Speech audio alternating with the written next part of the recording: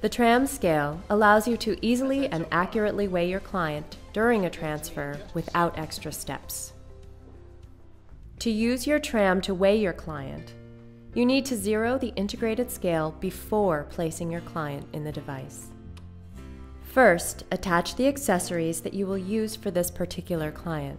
Then, to zero the scale, press the power button and then the zero button.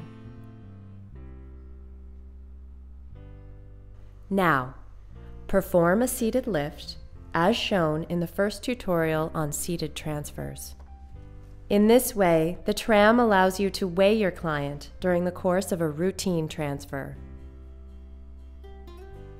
In many clinical settings, it's important to be able to measure your client's progress as you gradually increase the amount of weight he is bearing. The TRAM's integrated scale can do this for you easily. Here's how. Raise the patient until he is entirely supported, with no weight transferring to the ground. Now, zero the scale. Lower the tram until your client's feet begin to touch the ground and he begins to bear some weight.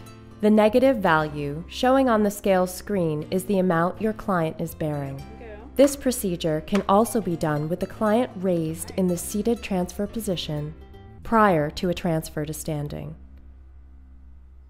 The Rifton Tram Award winning design to help you lift, transfer, and ambulate your clients safely.